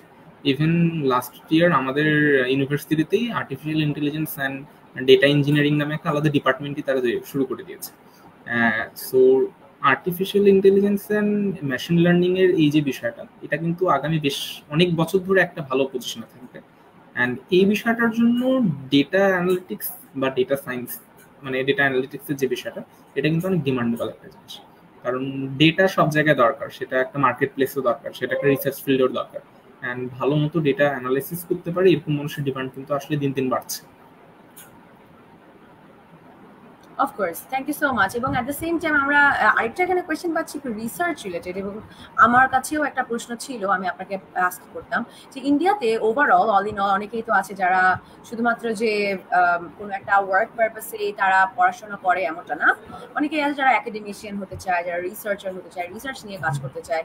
সো ইন ইন্ডিয়া যদি আমরা হায়ার স্টাডিজ করতে চাই, একদম বিগিনার হিসেবে রিসার্চ ফিল্ড যদি রিসার্চ ফিল্ডে যদি আমরা আসতে চাই ইন ডিটেলস আমরা যদি জানতে চাই যেটা কীরকম সিজিপিএ হতে হবে কিংবা আমাদের রিসার্চ ফ্যাসিলিটি কীরকম হিয়ার ইন ইন্ডিয়া এই নিয়ে একটু আমরা জানতে চাচ্ছি। আচ্ছা এক্ষেত্রে বলতে গেলে ফার্স্ট অফ অল সবার আগে যেটা আমি বলব যে এটা ক্যাম্পাস টু ক্যাম্পাস ভ্যারি করে। ইন্ডিয়াতে কিন্তু আসলে একাডেমিক প্রেশারটা অনেক বেশি। একাডেমিক প্রেশারটা কেন বেশি? আমাদের দেশে অন অ্যান অ্যাভারেজ যেটা ম্যাক্সিমাম ইউনিভার্সিটিগুলোর একটা আর কি সিনারি যে প্রত্যেকবার যে কোনো ফাইনালের আগে একটা কিন্তু পিএল পাওয়া যায়। প্রিপারেটরি লিভ একটা পাওয়া যায় অলমোস্ট মিনিমাম এক সপ্তাহের হলেও পাওয়া যায়।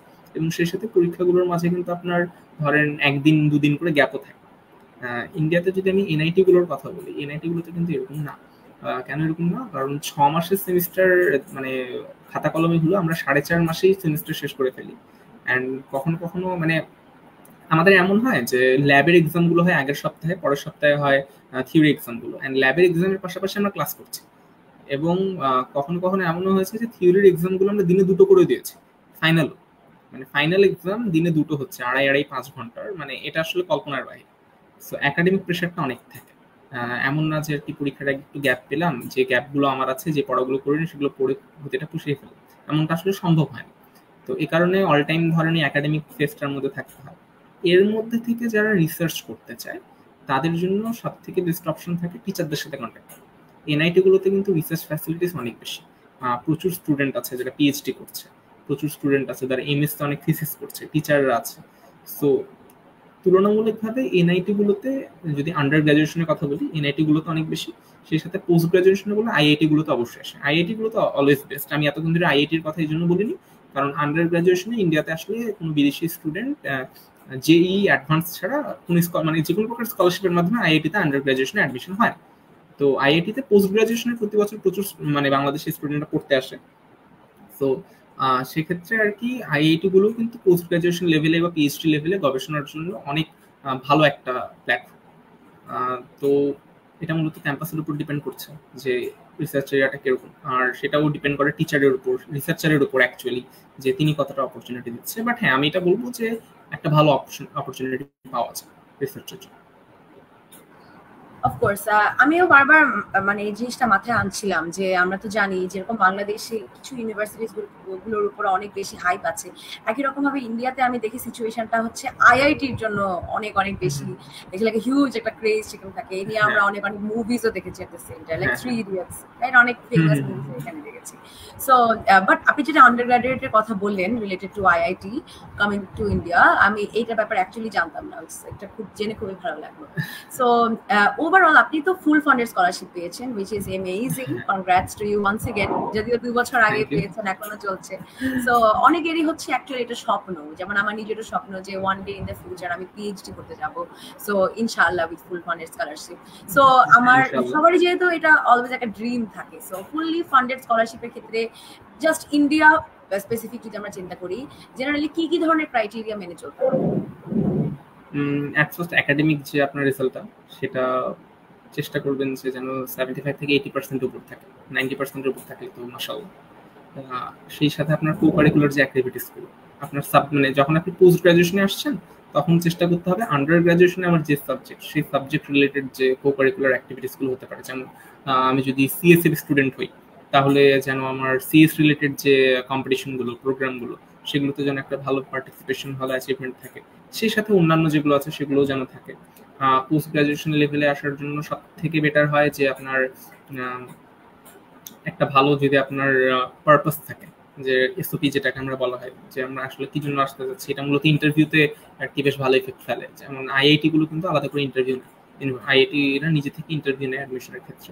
আর যদি আন্ডার গ্রাজুয়েশনের জন্য কথা বলি, তাহলে সব থেকে বেস্ট হচ্ছে টেন্থ আর টুয়েলভ এর রেজাল্টটাকে আপ টু মার্ক রাখা। যেমন আসলে যেটা হয় যে আমাদের এখন তো খুব সম্ভবত আমাদের দেশে জেএসসি হয় না ক্লাস এইট একটা।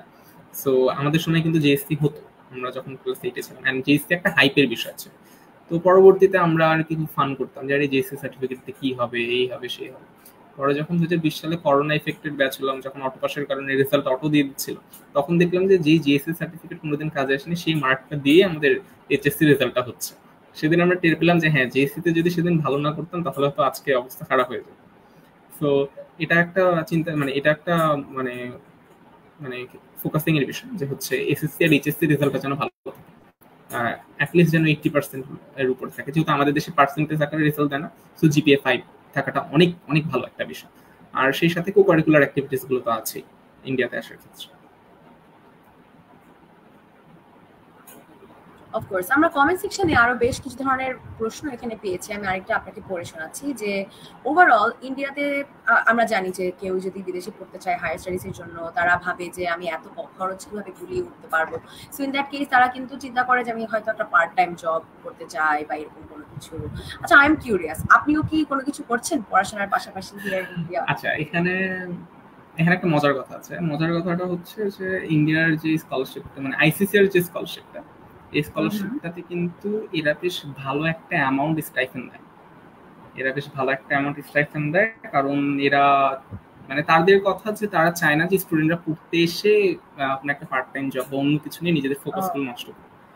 সো তারা যে স্টাইফেনটা দেয় এটা দিয়েই মার্শাল অনেক ভালোভাবে চলা যায়। হ্যাঁ এর বাইরে অনেকে অনেক কিছু করে বাট আমার আসলে প্রয়োজন পড়ে ওকে কিন্তু ইন জেনারেল যদি আমি আস্ক করি যেরকম আমাকে প্রশ্ন এখানে যেহেতু করা হলো সো আমি আপনাকে আস্ক করছি যে, অনেকেই আছে যারা ভাবে যে, আমি পাশাপাশি কিছু একটা করব পড়াশোনার পাশাপাশি। সো ইন দ্যাট কেস ইন্ডিয়াতে যদি আমি কোনো জব পেতে চাই ইন দ্যাট কেস বাংলাদেশ থেকে কোনো কাজ শিখে যাব? এখানে একজন অ্যাকচুয়ালি প্রশ্ন করেছে। আর আমি যদি আপনাকে আর একটু ডিটেলসে বলি যে ওভারঅল যদি কেউ পার্ট টাইম জব করতে চায় পড়াশোনার পাশাপাশি, তাহলে ইন্ডিয়াতে এটার স্কোপ কীরকম ফর স্টুডেন্টস ফার্স্ট মানে আসলে যদি এভাবে বলতে চাই তাহলে বাংলাদেশে ঠিক যেরকম পার্ট টাইম জবের স্কোপ ইন্ডিয়া তো অনেকটাই সেম মানে খুব একটা আহামরি পার্ট টাইম জবগুলো ভাবে আর কি পাওয়া একটু কঠিন। আর আরেকটা যেটা যে আমাদের দেশে আসলে টিউশন কালচারটা অনেক আছে। টিউশন নেওয়ার যে কালচারটা যে ইউনিভার্সিটির স্টুডেন্টরা ইভেন আমি যদি থাকতাম পড়তাম আমি অবশ্যই টিউশনই করতাম। ফার্স্ট অফ অল নিজের একটা হাত খরচের জন্য অ্যান্ড সেকেন্ডলি হচ্ছে নিজের স্কিলটাকে ঠিক রাখার জন্য। বাট ইন্ডিয়াতে আসলে আমি এই যে কালচারটা এটা খুব কম দেখেছি। স্পেশালি আমাদের ক্যাম্পাসে বা এনআইটি গুলোতে এই কালচারটা আসলে নেই। ইভেন ইন্ডিয়াতে আপনার ধরেন যে স্টুডেন্ট লাইফে আমাদের দেশের স্টুডেন্টরা মেইনলি কি করে? বিভিন্ন প্রকার কোচিং গুলোতে ক্লাস নেয়, বিভিন্ন প্রকার টিউটর হাউস গুলোতে ক্লাস নেয় স্টুডেন্টদেরকে পড়ানো যেটা মেইনলি ইন্ডিয়াতে যে মানে কোচিংগুলো আছে ম্যাক্সিমাম কিন্তু তারা গ্র্যাজুয়েটদেরকে রিক্রুট করে। মানে আপনাকে কোচিং এর টিচার হওয়ার জন্য গ্র্যাজুয়েট হওয়া লাগছে। তো সেক্ষেত্রে আর কি যে পার্ট টাইম জবের যে বিষয়টা, সেটা আরেকটু টাফ হয়েছে। আমি সাজেস্ট করব, কেউ যদি মানে সেলফ ফান্ডে করতে আসছে তার উচিত ফ্রিল্যান্সিং এর একটা অপরচুনিটি সে রাখতে পারে। যে হ্যাঁ সে ফ্রিল্যান্সিং এর কোনো কাজ শিখে আসছে, সেই কাজ দিয়ে সে অনলাইনের যে ইনকামগুলো, সেই, সেগুলো তো চেষ্টা করতে পারে। কিন্তু যদি পার্ট টাইম জবের ক্ষেত্রে ভাবে চিন্তা করি যে ইউরোপিয়ান কান্ট্রিগুলোতে বা ওয়েস্টার্ন অন্যান্য কান্ট্রিগুলোতে পার্ট টাইম জবের যে একটা হিউজ মার্কেট দেখা যায়, সেটা আসলে খুব একটা নেই। অলমোস্ট বাংলাদেশের মতো। ওকে ওকে আন্ডারস্টুড সো যেভাবে বললেন যে ফ্রিল্যান্সিং এবং এটা এমনই অনেক ইম্পর্টেন্ট একটা ব্যাপার যে আমরা যে কোনো জায়গায় বাসায় বসে থেকে ইন্টারনেট কানেকশন থাকলেই আমরা করতে পারছি। সো যেরকমটা বাংলাদেশে করতে পারছি ইন ইন্ডিয়া হ্যাঁ সেরকমটা হ্যাঁ। এন্ড এন্ড এটা আসলে বেটার আই গেস যেমন একটু আগে যে আপনি কোশ্চেনটা করলেন যে ডেটা অ্যানালিটিক্স নিয়ে কেউ একজন পড়তে চাচ্ছে বা এরকম কিছু ভাবছে। তো তার উচিত সেই ফিল্ডটাতে যাওয়া যে ফিল্ডটাতে গেলে তার পড়াশোনার টপিকটাও ঠিক থাকল আবার ফ্রিল্যান্সিং এর সেক্টরটাও ঠিক থাকল। কারণ ডেটা অ্যানালিটিক্স কিন্তু ফ্রিল্যান্সিং সেক্টর একটা অনেক ডিমান্ডিং টপিক অফকোর্স ওকে আমরা একটা প্রশ্ন এখানে পেয়ে যাচ্ছি যদিও এটা MBA related not in your field but তারপরেও if you can help please আমাদেরকে অ্যান্সার দিবেন। আইআইএম এ বাংলাদেশ থেকে এমবিএ করা কি টাফ আচ্ছা IIM first of all IIM হচ্ছে ইন্ডিয়ান ইনস্টিটিউট অফ ম্যানেজমেন্ট মানে ইঞ্জিনিয়ারিং এর মানে এমবিএ এর আইআইটি বলা যায় আর কি ইঞ্জিনিয়ারিং এর এমটেক এর জন্য মানে ইঞ্জিনিয়ারিং এর জন্য যেটা আর কি মানে আইআইটি নিয়ে ক্রেজ থাকে সেরকম ইন্ডিয়াতে এমবিএ নিয়ে আর কি ক্রেজ ক্রেজ হচ্ছে আইআইএম তো আইআইএম এ এটা ডিপেন্ড করে। স্কলারশিপের কথা যদি বলি এটা বছর টু বছর ভ্যারিফাই মানে ভ্যারি করে আর কি যে আপনার স্কলারশিপ তারা আইআইএম এ দিচ্ছে কিনা। আর যদি না দেয় তাহলে সেলফ ফান্ডে আসতে পারে। অ্যাডমিশনটাও সেই হিসেবেই হয়। অ্যান্ড অ্যাডমিশনটা ফার্স্ট অফ অল একটু tough obviously tough and secondly যদি বলে যে এমবিএটা উনি করবেন কি কিনা এমবিএ করার যে এনভায়রনমেন্টটা বা একাডেমিক প্রেশারটা এটা কিন্তু অনেক টাফ হয়। মানে ইউজুয়ালি আমরা যে সকল শিক্ষা ব্যবস্থার সাথে পরিচিত সেটার সাথে তুলনা করতে গেলে হ্যাঁ টাফ আইআইএম থেকে এমবিএ করাটা একটু টাফ বুঝতে পেরেছি। লাইক অল ইন অল যেহেতু পড়াশোনার প্রেশার সেভাবে মানে সবকিছু মিলিয়েই বাংলাদেশের থেকে হয়তো বা একটু টাফ যেভাবে বললেন যে এমবিএ আসলে হয়েছে কি যে ইন্ডিয়া কিন্তু অনেক বড় একটা দেশ তো। তো বড় দেশ হওয়ার কারণে জনসংখ্যাটা অনেক বেশি সে কারণে কম্পিটিশনটা অনেক বেশি। সো এই কম্পিটিশনের মধ্যে টিকে টিকে থাকাটা একটু টাফ হয়ে গেছে। অফকোর্স সো আমরা অ্যাকচুয়ালি অনেক কিছু নিয়েই আলোচনা করলাম। কিছুক্ষণ আগে কিন্তু স্টেটমেন্ট অফ পারপাস এই টপিকটা নিয়েও একটু আসলো, আপনার উত্তরে আপনি এটা নিয়ে একটু বললেন। ওয়ান সেকেন্ড যখন আমরা এটা লিখতে যাই, লিখতে বসি, তখন আমরা অনেকেই হয়তো বা অবাক হয়ে যাই বা আমরা ভেবে উঠতে পারি না যে ঠিক কি কি রিজনস এখানে বলব why I really need the scholarship অনেক ক্ষেত্রে স্কলারশিপ দেওয়ার টাইমে তারা এগুলোও দেখে, তারা আর্নিং সোর্স বা এইসব জিনিসগুলো নিয়েও দেখে। সো যদি আপনি আমাদেরকে রেকমেন্ডেশন দেন যে কেউ যদি যেরকম আপনি এসএসগুলোর কথা বলেন এই এসএ গুলো আপনি যেরকম তিন দিন না কতদিন জানি বললেন যে টাইম নিয়ে নিয়ে তারপর লিখতে হয়েছিল রাইট প্লাজারিজম চেক করা অ্যান্ড হোয়াট নট সো এই এসে লেখার ক্ষেত্রে স্টেটমেন্ট অফ পারপাস লেখার ক্ষেত্রে এই রিলেটেড যদি কিছু টিপস এন্ড ট্রিক্স দিতেন to here to all the students here আচ্ছা যদি টিপসের কথা বলি সবার আগে যেটা বলব যে অ্যাভয়েড চ্যাট জিপিটি চ্যাট জিপিটিকে দিয়ে এসে লিখে নেওয়া বা অন্য যে কোনো এআই কে দিয়ে সেটা চ্যাট জিপিটি হোক বা জেমিনি হোক বা হচ্ছে বিং এআই হোক যতগুলো এআই আছে যে কোনো এআই কে দিয়ে এই এসে লিখে নেওয়া বা এসওপি লিখে নেওয়া এটা অনেক মানে খারাপ একটা কাজ। কেন খারাপ কাজ? কারণ ঠিক যেরকম আমি সেটা দিয়ে লিখে নিচ্ছি, সেটাকে ধরতে পারার জন্য কিন্তু আরেকটা এআই বসে আছে। বা এআই এর থেকে স্ট্রং মাইন্ডের একটা মানুষ বসে আছে যে এগুলোকে ধরতে পারে। সো সবার আগে চেষ্টা করতে হবে যে কোনো প্রকার যে এসে হোক বা এসওপি হোক, এগুলো নিজে থেকে লেখা। নিজে থেকে লিখলে আসলে হয় কি যে অ্যাকচুয়াল বিষয়টা লেখা যায়। অ্যান্ড সেকেন্ডলি এটা লক্ষ্য রাখতে হয় যে আসলে যেটা হয় যে যে কোনো প্রকার এস এর ক্ষেত্রে বা যে কোনো প্রকার যে কোনো প্রকার লেটারের ক্ষেত্রে, যদি আমরা সেটা সিম্পল ইমেইলের কথা বলি, সেটা যখন অনেক বড় হয়ে যায় না, এটা কিন্তু মানে গ্রহণযোগ্যতা হারিয়ে ফেলে। কারণ মানুষের কাছে কিন্তু অতটা সময় নেই, অত বড় একটা বিষয় পড়ে তারপর বোঝা যায় আমি আসলে কি চাচ্ছি। দ্যাটস ওয়াই যে কোনো প্রকার এসে হোক বা এসওপি হোক, এটা যেটা ওয়ার্ড লিমিট থাকে, চেষ্টা করা উচিত এটার মধ্যে একদম পারফেক্টলি লিখে ফেলা। যেন অল্প কিছুতে এটা টের পাওয়া যায় যে আমি আসলে কি বলতে চাচ্ছি। সো এটা একটা মানে মাথায় রাখার মতো বিষয়। তো মানে অ্যাভয়েড চ্যাট জিপিটি অ্যান্ড চেষ্টা করুন to be on up to mark যদিও এসওপি লেখার একদম রিয়েল লাইফ এক্সপিরিয়েন্স আমার এখনও নেই। মানে লিখেছি কিন্তু কোথাও সাবমিট করিনি আর কি, কারণ প্রয়োজন পড়েনি। বাট হ্যাঁ যখন লিখেছিলাম বা যখন লিখতে শিখেছিলাম, তখন এটুকু অন্তত বুঝেছিলাম যে নিজে থেকে লেখা হচ্ছে, এর বাইরে। কাউকে দিয়ে লিখিয়ে নিলে সেটা কখনোই নিজের মধ্যে হবে না। সেটা একটা অন্য মানুষ হোক, সেটা একটা এআই অফকোর্স আমরা বেশ অনেক কিছু নিয়ে অ্যাকচুয়ালি আলোচনা করলাম।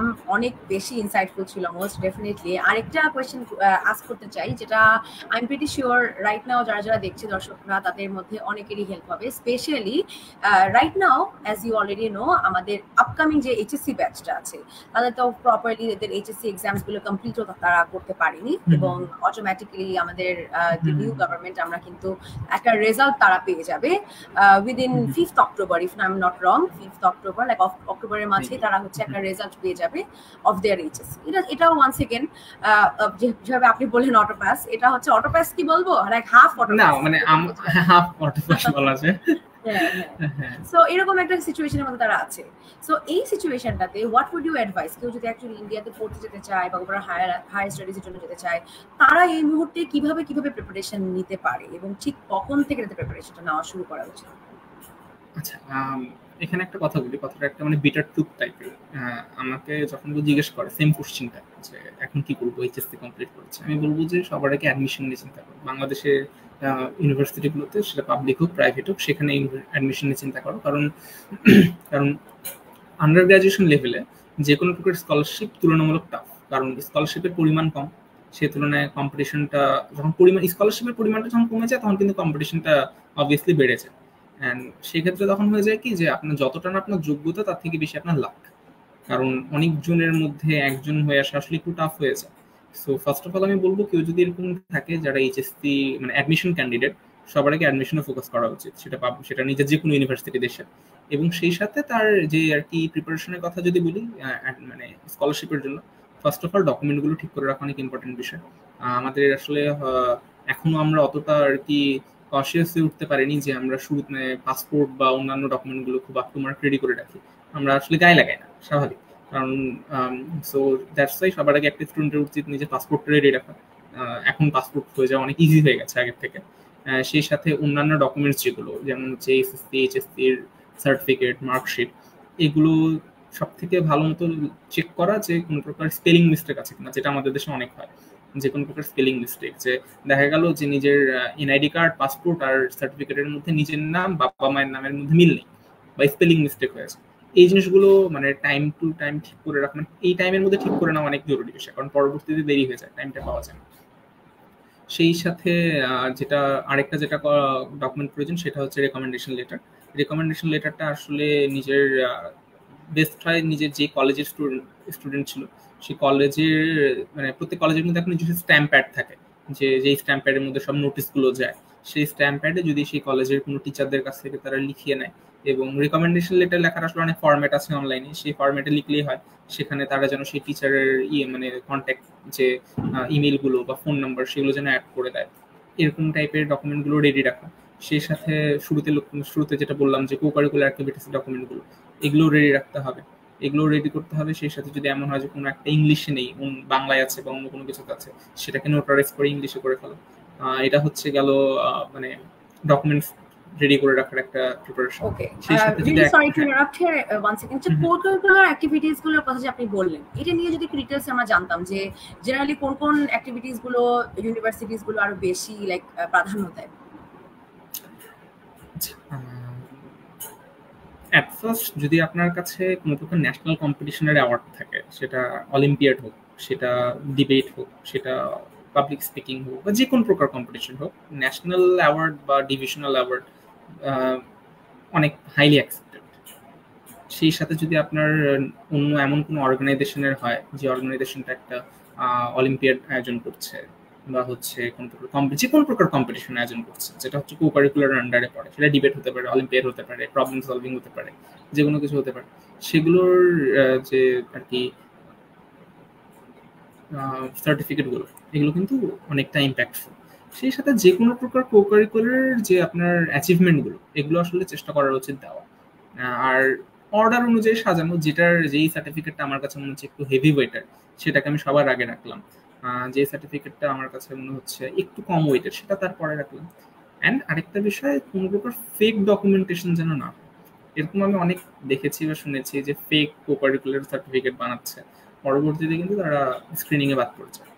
কারণ আপনি যদি আপনার অ্যাপ্লিকেশনও ঠিক মানে হয়ে গেল, আপনি যদি আর কি রিটার্ন টেস্টও পাস করে গেলেন, আপনি যদি হচ্ছে ইন্টারভিউতেও পাস করে গেলেন at the end offer letter হাতে আসার আগে আরেকটা আর কি ভ্যারিফিকেশন সেটা হচ্ছে ডকুমেন্ট ভ্যারিফিকেশন যতগুলো ডকুমেন্টস আপনি সাবমিট করেছেন স্পেশালি আপনার এসএসসি এইচএসসির মার্কশিট সার্টিফিকেট এগুলো সহ সব সার্টিফিকেটগুলো এম্বাসিতে তারা নিজেরা ভ্যারিফাই করে। এমন না যে আপনি অন্য কোথাও থেকে ভ্যারিফিকেশন শেষ করে এনে তাদেরকে দিলেন। তারা সব ডকুমেন্টস নিজেরা ভ্যারিফাই করে। সো যেই ডকুমেন্ট বা যে সার্টিফিকেটটা আমি দিচ্ছি, সেটা যেন অরিজিনাল হয়। এরকম যে কোনো কোকারিকুলার অ্যাক্টিভিটিসের আর কি certificate accepted okay so all in all আর কি আমরা ইন ডিটেলস অনেক কিছু নিয়ে জেনে গেলাম রিলেটেড টু দ্য ডকুমেন্টেশন থেকে শুরু করে আপনি কীভাবে অ্যাপ্লাই করেছেন, আপনার এন্টায়ার জার্নিটার ব্যাপারে জেনে নিলাম। Just lastly if you have any suggestion যদি কেউ ইন্ডিয়াতে হায়ার স্টাডিজের ক্ষেত্রে আসতে চায়, সেক্ষেত্রে আপনার সাজেশন কি থাকবে? আচ্ছা আমার আমার সাজেশন আমার যেটা সাজেশন থাকবে যে ফার্স্ট অফ অল নিজের ডিজায়ার সাবজেক্ট চুজ করা। যে আমি কোন সাবজেক্টে পড়তে চাই, এটা একটা অনেক ভালো অপরচুনিটি আমাদের হাতে অপরচুনিটি ইউজুয়ালি দেশের ভিতরে থাকে যে আমরা কোন, আমাদের পছন্দের সাবজেক্টে পড়তে পারছি কিনা। এটা ফার্স্ট সেকেন্ডলি হচ্ছে ইউনিভার্সিটিটা চুজ করা। ইউনিভার্সিটি চুজ করার ক্ষেত্রে আসলে কেবলমাত্র র্যাঙ্কিং দেখা উচিত আর অনেক কিছু দেখা উচিত যে সেই, কারণ ইউনিভার্সিটি লাইফটা আসলে অনেক বড় একটা বিষয়। চার বছর একটা লাইফ আমি এখানে আমার যে শখগুলো আছে, খেলাধুলার হোক বা যে কোনো প্রকার, যেমন কারও যদি রোবোটিক্সের শখ থাকে, সেই রোবোটিক্সের শখটা পূরণ করার অপরচুনিটি আমাকে ইউনিভার্সিটি দিচ্ছে কেন? আমার যদি হচ্ছে এখানে আমার মানে এমন যদি থাকে যে হ্যাঁ আমি একজন ভালো অ্যাথলেট বা এমন যদি থাকে যে, আমি একজন ভালো প্রোগ্রামার বা আমি কোডিং করতে পছন্দ করি, এই অপরচুনিটিগুলো আমার ইউনিভার্সিটি দেয় কিনা, এগুলো আসলে একটু খোঁজ নেওয়া উচিত সেই ইউনিভার্সিটির ওয়েবসাইটগুলো থেকে। সেই সাথে এটা দেখা যে যে ইউনিভার্সিটির লোকেশনটা ঠিক কোন জায়গায়? যেমন জাস্ট ইন্ডিয়ার ভিতরেই যদি হচ্ছে চিন্তা করি যে এনআইটি শিলচরের কথা, তাহলে এনআইটি শিলচরের হচ্ছে আমাদের দেশের সিলেটের কাছাকাছি। তো ওয়েদারটা অনেকটা সেরকম। এনআইটি দুর্গাপুর, কলকাতাতে। সো খুলনা বা কলকাতার ওয়েদার খুব একটা আমার ডিফারেন্স হতে পাওয়া যায় না। কিন্তু যদি আবার চিন্তা করি, এনআইটি হামিরপুর। এনআইটি হামিরপুর হচ্ছে উত্তরাখণ্ডে, একদম পুরো পাহাড়ি এলাকা যেখানে শীতকালে অলমোস্ট বরফ পড়ার মতো অবস্থা হয়ে যায়, প্রচুর শীত পড়ে। এনআইটি দিল্লির ক্ষেত্রেও সেম এনআইটি, আমার এনআইটি যে, এনআইটি জয়পুর, এখানেও শীতকালে প্রচুর শীত পড়ে। এনআইটি, জম্মু কাশ্মীর যেটা আছে সে এই এলাকাগুলো কিন্তু অনেকটা মানে শীতের সময় প্রচুর শীত পড়ে, গরমের সময় আবার গরম পড়ে। আবার যদি সাউথের দিকে যদি দেখি, সেই ইউনিভার্সিটিগুলোরও ওয়েদারটা একটা ভালো ইম্প্যাক্ট ফেলে। সো এটা আসলে দেখা উচিত। সেই সাথে এটা দেখা উচিত যে খাদ্যাভ্যাস, আমি কোন এলাকায় যাচ্ছি, সেই এলাকার মানুষের খাওয়া দাওয়া কীরকম? যেমন আমার এখানে এসে সবার আগে যেটা, প্রথম প্রথমে অ্যাডাপশনে যেটা কষ্ট হতো যে রাজস্থানের মানুষজন ইউজুয়ালি ধর্মের উপর ভিত্তি করে না। নর্মালি রাজস্থানের মানুষজন ভেজিটেবল আর কি, তারা আর কি ভেজিটেরিয়ান তারা নন ভেজটা খুব কম খায়। তো এই জিনিসটা এসে আমাকে এখানে বিড়ম্বনা করতে হয়েছিল যে হ্যাঁ মানে সবখানে জাস্ট ভেজিটেরিয়ান ভেজিটেরিয়ান আবার যদি কেউ দিল্লিতে যায়, কেউ যদি আবার সাউথের দিকে যায় সাউথের দিকে ইনক্লুডিং আপনার আসামের যে এনআইটি শিলচার সেখানে তারা ইউনিভার্সিটির হস্টেলে নন ভেজিটেরিয়ান খাবার দাবারও দেয়। অথচ আমার এখানে সেটা আর কি কল্পনারও বাইরে তো এই জিনিসগুলো খেয়াল রাখা উচিত। ল্যাঙ্গুয়েজটা খেয়াল রাখা উচিত। যেমন আমার এই নর্থ ইন্ডিয়ার দিকে হিন্দিটা চলে সাউথ ইন্ডিয়ার দিকে আবার হিন্দি চলে। তো কেউ যদি মনে করে যে হ্যাঁ আমি তো হিন্দি পারি। ইউজুয়ালি আমাদের দেশের অনেক অনেক মানুষই পারে। আমরা ছোটবেলায় ডোরেমন দেখতাম। ডোরেমন দেখে দেখে আমরা শিখে গেছি। তো হচ্ছে অনেকে যদি মনে করে যে হ্যাঁ পারি। হ্যাঁ এটা অনেক বড় একটা সুবিধাজনক বিষয়। কোনো একটা বাইরে গেলে তাদের দেশের ল্যাঙ্গুয়েজের সাথে অ্যাড করে নেওয়া তো সাউথের দিকে গেলে আবার এই সমস্যাটা হয়ে যায় যে, ওরা আবার ওদের সাথে মানে ওদের ল্যাঙ্গুয়েজে কন্ট্যাক্ট করতে না পারলে হয় না। তো এই সব জিনিসগুলো মাথায় রেখে ইউনিভার্সিটির আসলে সিলেক্ট করা উচিত। আর সেই সাথে আরেকটা যেটা বিষয় যে হোমসিক যদি কেউ হয়, খুব বেশি হোমসিক যে হ্যাঁ বাসা থেকে বের হয়ে নিজে নিজে চলতে পারি না বা করতে পারি না, তাদের জন্য আসলে দেশের বাইরে যে কোনো দেশে না যাওয়াটাই বেটার কারণ অ্যাডাপশন অনেক গুরুত্বপূর্ণ বিষয়। আর ইন্ডিয়াতে যেটা সব থেকে যেটা হয় যে আমি এখানে এসে অ্যাডাপ্ট করছি পরিবেশের সাথে, খাবারের সাথে, মানুষজনের সাথে, ততদিনে দেখা গেলো একটা সেমিস্টার বেরিয়ে গেছে। একটা সেমিস্টার বেরিয়ে গেছে, একটা সেমিস্টারের পড়াশোনা শেষ, আমি তারপর রিয়েলাইজ করছি যে আমি আসলে কোনো কিছু করতে পারি এই জিনিসটা আসলে অনেক ইফেক্ট থাকে। সো সবার চেষ্টা করা হচ্ছে যে একটু সেলফ মানে একটু ইন্ডিপেন্ডেন্ট হয়ে আসে। অন্য কারোর উপর ডিপেন্ডেন্ট হয়ে না থাকে। এই জিনিসগুলো আই গেস মাথায় রাখা উচিত। Of course. Thank you so much for giving us your precious time once again here, ভাইয়া বিকজ আপনি বললেন আপনার সামনে এক্সাম আছে তারপরে আপনি সময় বের করে হিয়ার বাংলাদেশি স্টুডেন্টসদেরকে হেল্প করছেন। So most definitely many other people যারা রাইট নাও আপনার প্রবলেমটার মধ্যে কিন্তু তারা ছিল। Like the same problem that you face like two years ago তারা সেম সিচুয়েশনটাতেই আছে। সো রাইট নাও আজকে অনেকেই দেখছে রাইট নাও অ্যান্ড অবশ্যই আপনার জন্য অনেক অনেক দোয়া থাকল অনেক ব্লেসিংস থাকল so that you properly graduate and then once again বাংলাদেশের জন্য অনেক অনেক কিছু করবেন। Yes of course my most welcome and দর্শকদের উদ্দেশ্যেও বলে রাখছি যে আমরা আজকে ইন ডিটেল জানতে পারলাম about road map to your higher studies in India most definitely আপনাদের যদি আরও কারও কোনো কোয়েশ্চেন্স থেকে থাকে feel free to comment down below এবং আমরা পরবর্তী আরও আরও অনেক ডিফারেন্ট লাইভ সেশনস নিয়ে আসছি এভরি সিঙ্গেল টাইম যে different types of higher studies related যদি কারও কোনো কোয়েশ্চেন্স থেকে থাকে বা প্রিপারেশন রিলেটেড কোনো কোয়েশ্চেন্স থেকে থাকে. So thank you so much once again ভাইয়া for giving us precious time with that we are ending our session here so thank you so much once again দেখা হবে সবার সাথে পরবর্তী কোনো লাইভ সেশন আল্লাহ হাফিজ। আল্লাহ হাফিজ।